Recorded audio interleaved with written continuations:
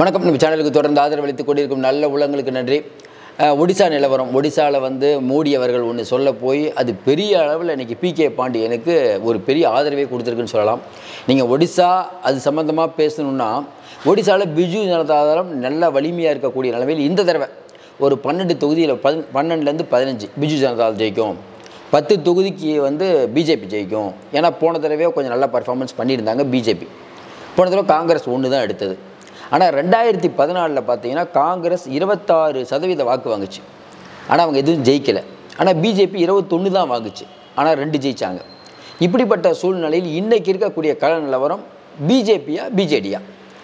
ஆனால் என்னென்னா பிரதமர் மோடி அவர்கள் போய் கொஞ்ச நாளைக்கு முன்னாடி இந்த பூரி ஆலயத்தை பற்றி பேசி அதோட சாவி இருக்குன்னு சொன்னது அதற்கு பிறகு களம் பயங்கரமாக மாறிடுச்சு. குறிப்பாக சாம்பல்பூர்.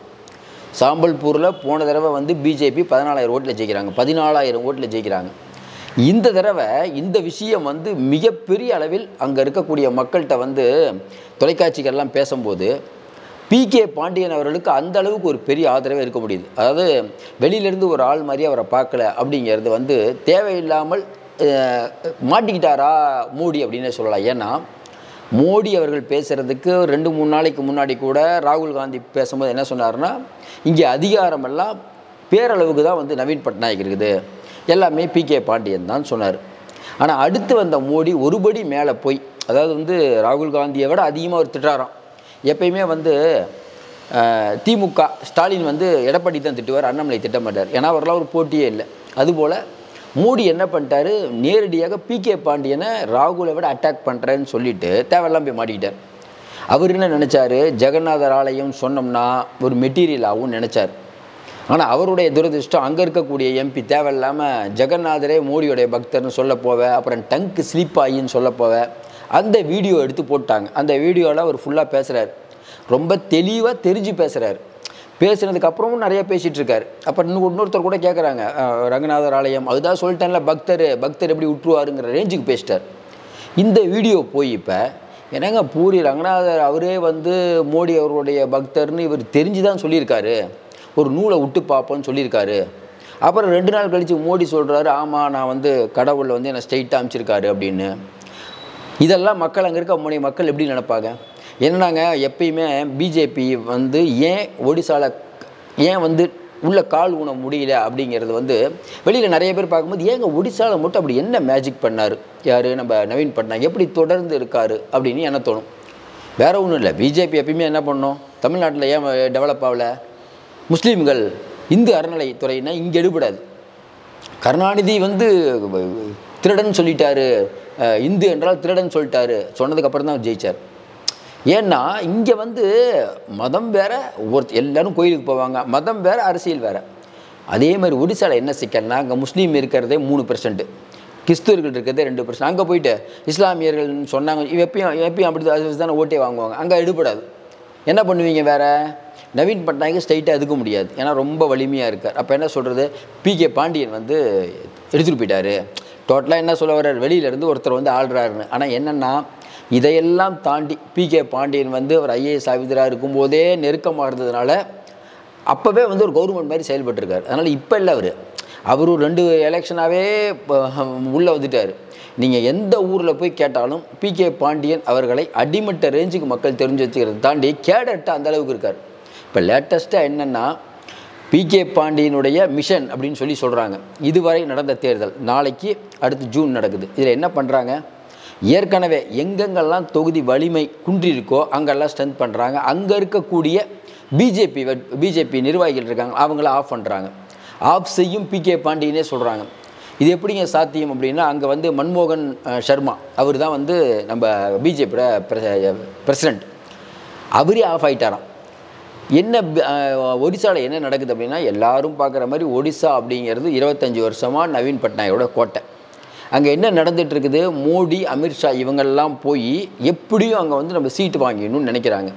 முதல்ல அவங்க என்ன நினச்சாங்கன்னா ரொம்ப நம்ம போய் உள்ள முதல்ல போய் கூட்டணிக்கு போனாங்க. பி. கே. பாண்டியன் அவர்களை கூட்டிகிட்டு போய் டெல்லியில் போய் பேசினாங்க ரெண்டு தடவை. அது எல்லா பேப்பர்லேயும் வந்தது. அதுக்கப்புறம் பி. கே. பாண்டியன் ஆமாங்க நாங்கள் பேசிகிட்டு இருக்கோம்னு சொல்லிட்டார். ஒரு நாகரிகம் கருதி பி கே பாண்டியன் சில விஷயங்களை சொல்லாமல் இருந்தார். பிரதமர் மோடி வந்து அந்த கோயில் ஆரம்பித்த உடனே பி கே பாண்டியன் இன்றைக்கி இன்னைக்கு காலையில் என்ன சொல்கிறாரு ஆமாங்க போனோங்க. எங்களுக்கு அவங்களுக்கு உடன்பாடு இல்லை. இங்கே இருக்கக்கூடிய லோக்கல் தலைவர்கள் அதை ஒத்துக்கலை. அப்படின்ட்டு பாலிசாக முடித்தார் அதாவது என்னென்னா அது கேட்குறாரு ஏற்கனவே நான் வந்து என்னை கூட்டு போய் டெல்லிக்கு போய் கே பேசினார்ல மோடி. அப்போ தெரியாதா நான் வந்து இந்த மாதிரிலாம் பண்ணிட்டேன்னு.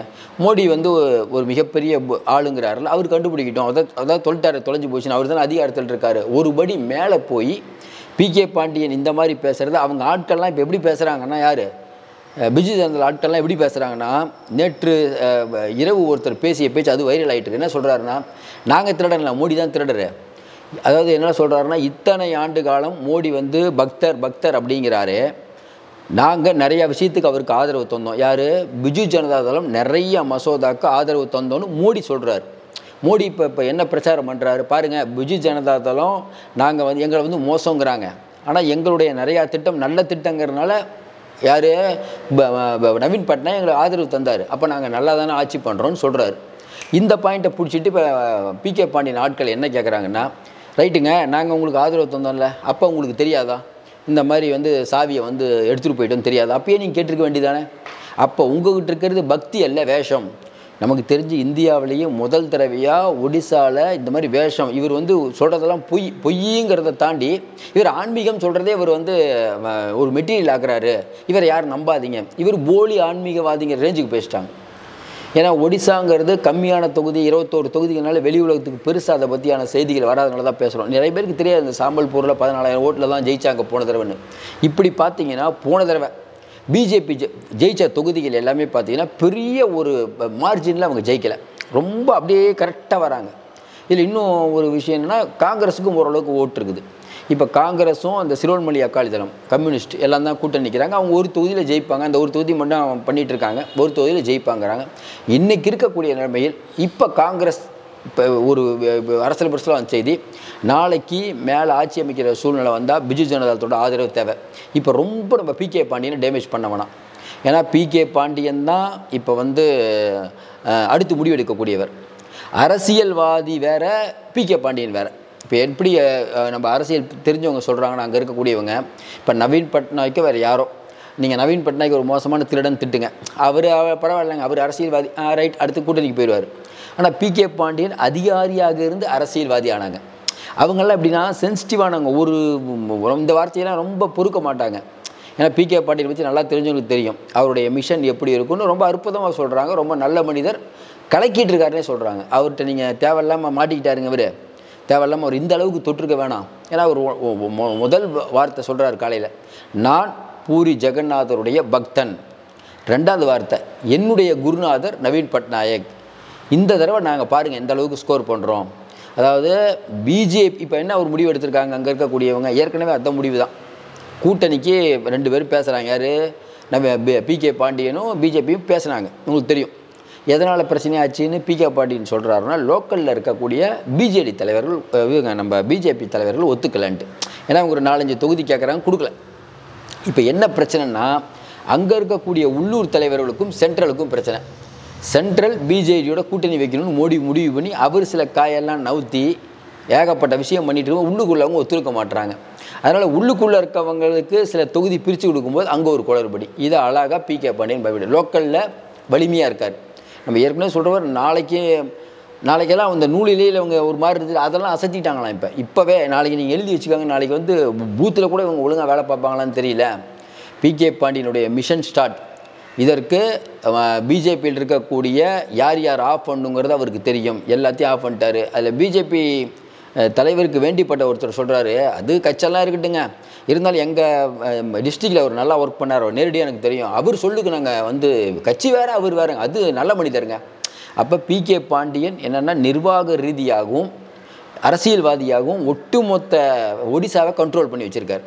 பெருசாக வந்து பிகே பாண்டியன் சம்பாரிச்சிட்டாரு ஏமாற்றிட்டார் அப்படி ஒரு இதெல்லாம் இவரே சொல்ல முடியாது. அதனால தானே இந்த வார்த்தையை சொல்கிறாரு நம்ம தமிழருங்கிறதுக்காக புகழ்ந்து சொல்ல நீங்கள் அங்கே யாரை கேட்டாலும் அதான் சொல்லுவாங்க. இன்னொன்று தமிழர் ஒருத்தர் வந்து ஒடிசாவில் ஆள்றது அதை விட வேறு பெருமை நமக்கு என்ன இருக்க முடியும்? ஒரு தமிழர் வந்து கொண்டாடப்படுவது நமக்கு ரொம்ப கொண்டாட்டம். அதிலும் நம்ம இவர் மோடி அவர்கள் பேசியது என்ன சொல்கிறது தமிழராக இருந்து அவ்வளோ கோவம் வருதுன்னா உங்கள் பத்து ஓட்டு கூட வாங்க மாட்டீங்க. ஏன்னா நம்ம என்ன சொல்கிறோம்னா தமிழர்னு அவ்வளோ கே கேவலமாக இவருக்கு என்ன நினச்சிட்டு இருக்காங்க இன்னும் கேட்குறோம் என்னென்னா சரி ரைட்டு தமிழர் வந்து அங்கே ஆளக்கூடாது இங்கே ஆளக்கூடாது சொல்லிட்டு போங்க. இதே மாதிரி நிறைய பேர் தமிழ்நாட்டில் சொன்னாங்க ஏன் வெளியில் வெளியில் சேர்ந்த எம்ஜிஆர் அவர்கள் எம்ஜிஆர் அவர்களை வெளியாளாக நம்ம பார்த்தோம் ஜெயலலிதாமா வெளியாளாவை பார்த்தோம்.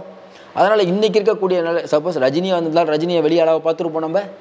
இவர் வந்து குஜராத்தில் இருக்க இவர் வாரணாசியில் போய் போட்டி இல்லாமல் ஆனால் ஒரு தமிழர் அங்கே போகக்கூடாது. இங்கே வந்தால் தமிழ் தமிழ்ங்கிறது அங்கே வந்து என்னங்க அவ்வளோ இழிச்ச வாங்கிக்கலாம் நாங்கள் உண்மையிலே நம்ம இழிச்ச வாங்கியிருந்தோம். அந்த தான் இந்த ஆள் இவ்வளோ இவ்வளோ போய் சொல்லிட்டு இருக்காரு ஏன்னா நம்ம ரொம்ப ஓரளவுக்கு பேசலான்னு பார்த்தா மோடி அவர்கள் ரொம்ப பண்ணுறாரு வர வர பார்த்தீங்கன்னா இன்றைக்கி என்னாச்சு?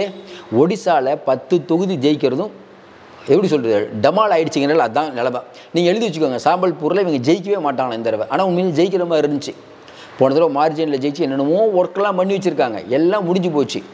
நாளைக்கு இருக்கு எதை சொல்கிறாங்களே நாளைக்கும் அது அந்த இதில் வந்து ஒன்றாம் தேதி ஒரு எட்டு தொகுதிக்குது அங்கெல்லாம் ஒரு தொகுதி கூட வர மாட்டாங்களாம். அந்த அளவுக்கு அவங்க ஒரு முடிவு பண்ணிட்டாங்க பி கே பாண்டியன்.